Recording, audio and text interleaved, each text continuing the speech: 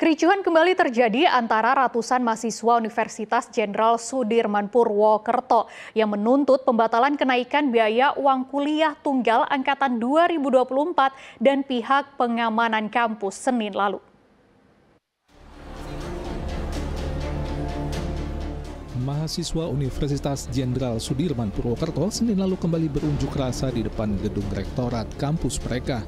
Pada unjuk rasa ratusan mahasiswa yang kedua kali ini, mahasiswa tidak berhasil menemui rektor untuk menagih janji soal tuntutan mereka membatalkan kenaikan besaran uang kuliah tunggal UKT yang ditetapkan rektor secara sepihak untuk mahasiswa baru tahun 2024.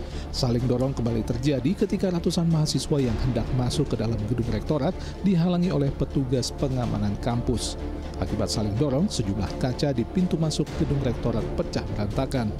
Akibat situasi yang makin memanas menjelang sore, pihak kampus mendatangkan anggota kepolisian dari Satuan Sabara Polres Banyumas.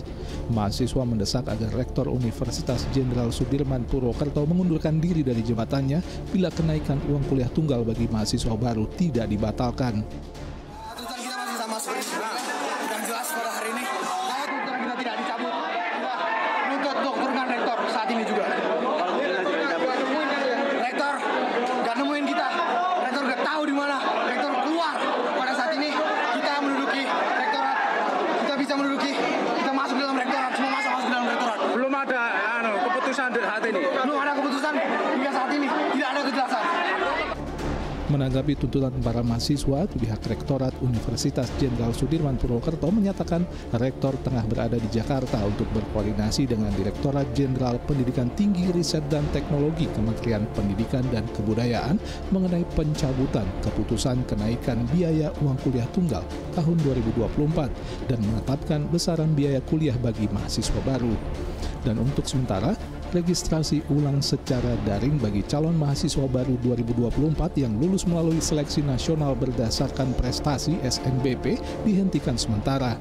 Keinginan mahasiswa bahwa uh, peraturan rektor nomor 6 itu minta dicabut. Kita sudah melakukan itu dan melakukan rapat di hari Sabtu dengan pimpinan, dengan dekan, dengan ketua lembaga dan unit-unit terkait untuk membahas tentang UKT ini. Nah, dari hal itu, Pak Rektor hari ini ke Jakarta dalam rangka untuk membahas atau mengkonsultasikan apakah pembahasan di pimpinan ini bisa disetujui atau tidak. Hingga Senin petang, ratusan mahasiswa masih menduduki gedung rektorat. Peraturan Rektor Universitas Jenderal Sudirman nomor 6 tahun 2024 memantik keresahan terutama bagi para orang tua dan mahasiswa baru tahun 2024 yang lulus melalui jalur SNBP. Sebab besaran kenaikan uang kuliah tunggal yang berkali lipat dibanding tahun 2023 dan baru diumumkan saat calon mahasiswa jalur SNBP dinyatakan lulus dan melakukan registrasi ulang secara daring. Besaran uang kuliah tunggal bagi mahasiswa angkatan 2024 Universitas Jenderal Sudirman memicu keresahan karena kenaikannya cukup tinggi dibanding UKT tahun sebelumnya.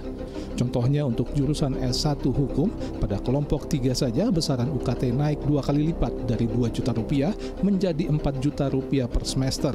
Sedang kenaikan tertinggi pada UKT kelompok 7 yaitu dari 3 juta rupiah menjadi 13 juta rupiah atau naik lebih dari 4 kali lipat setiap semesternya. Sedang untuk jurusan lainnya seperti jurusan sarjana peternakan, kenaikan uang kuliah tunggal untuk golongan 3 terbilang tidak besar, yaitu dari 2 juta menjadi 2,5 juta rupiah atau 20 persen. Namun, kenaikan UKT untuk kelompok 4 dan 5 naik dari 2,2 juta rupiah menjadi 7,5 juta rupiah atau lebih dari tiga kali lipat. Dan UKT kelompok 5 naik dari 2,5 juta rupiah menjadi 12,5 juta rupiah atau naik lima kali lipat. Mardianto melaporkan dari Banyumas.